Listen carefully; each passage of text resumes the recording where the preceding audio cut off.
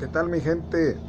Para los compañeros que me preguntan sobre la diferencia entre los codos radio largo y los codos radio corto, les comento que la diferencia es el avance.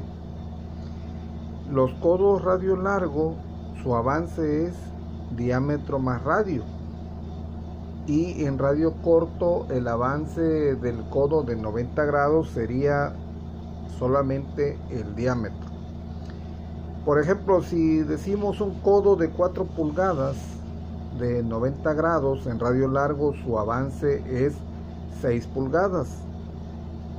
Y en radio corto, en 4 pulgadas, el codo de 90 grados, pues el avance es 4 pulgadas. Espero que esta información pues les pueda ser útil eh, y pues va dirigida a los compañeros que no tienen claro eh, lo que es la diferencia entre codos radio largo y codos radio corto.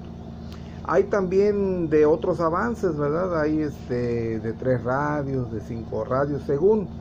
Hay curvas también, este, donde pues el avance puede ser el que sea necesario o el que se requiera en la fabricación o en el armado de tuberías.